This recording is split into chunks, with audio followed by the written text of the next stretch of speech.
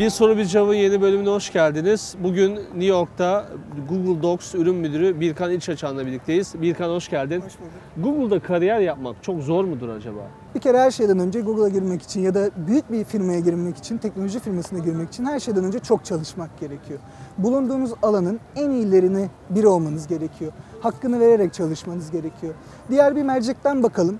Hep biz aday olarak bakıyoruz aslında. Birazcık da şirketlerin gözünden bakalım. Çok büyük şirketleri değerlendirdiğiniz zaman bu şirketlere başvuran sayısı milyonlarca insan başvuruyor bir senede. Ve mezun adaya baktığınız zaman Amerika'nın, Avrupa'nın en iyi, Türkiye'nin en iyi üniversitelerinden mezun insanlar elle avuçla sayılabilecek pozisyonlara başvuruyorlar. Ve böyle olunca da şirketler bir yerde bir eleme yapmak gerekiyor. O zaman siz diğer rakiplerinize göre farkınızı nasıl ortaya koyacaksınız? Sadece üniversiteden iyi not ortalamalarıyla mezun olmak artık yetmiyor. Çünkü bu kalifiyedeki şirketlere girmek için başvuran herkesin not ortalaması çok iyi.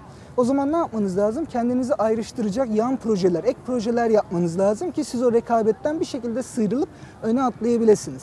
Bu noktada benim hani şahsi görüşüm mümkün olduğunca size verilen işin dışında da ek projeler olsun, yan projeler olsun. Mesela üniversitede okuyan arkadaşlarımız için sadece not ortalamasını yüksek tutmak yetmiyor. Ona ek olarak kendi özel zamanlarında geliştirebilecekleri açık kaynaklı projeler olabilir ya da şirketlerle yapabilecekleri staj vesaire çalışma kapsamlarında yaptığı, ürettikleri projeler bu noktada kendilerini fark yaratmasını sağlayacaktır.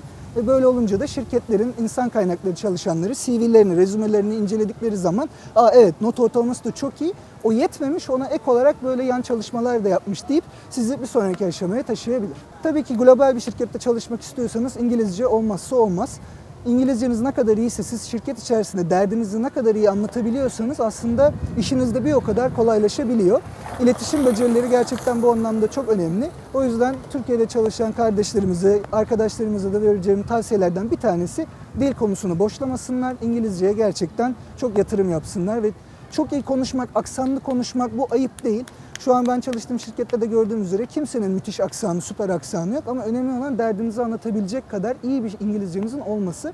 Aksandan çekinmesinler, mümkün olduğunca konuşma pratiği yapsınlar ve bu dil konusunun üzerine gitsinler. Yani Google gibi bir şirketi düşündüğünüz zaman ya da büyük teknoloji firmalarını düşündüğünüz zaman sadece mühendislik ve kodlama alanını düşünmeyin aslında. Sonuçta bu kodlamaları yapan, ürünleri geliştiren teknik ekipler, mühendislik ekipleri de var ama bu sadece çarkın bir dişlisi pazarlama ekipleri, satış ekipleri, müşteri desteği, tedarik zincirinin temin edilmesi vesaire birçok kalemi var aslında bütün bu tip büyük şirketlerin.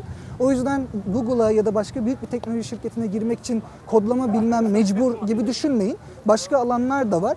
Siz mümkün olduğunca bulunduğunuz alanda, çalışmak istediğiniz alanda en iyisi olmayı hedefleyin. Rakiplerinize göre, diğer arkadaşlarınıza göre kendi farkınızı nasıl yaratabilirsiniz? O açıdan düşünürseniz rekabette de bir adım öne geçmiş olursunuz.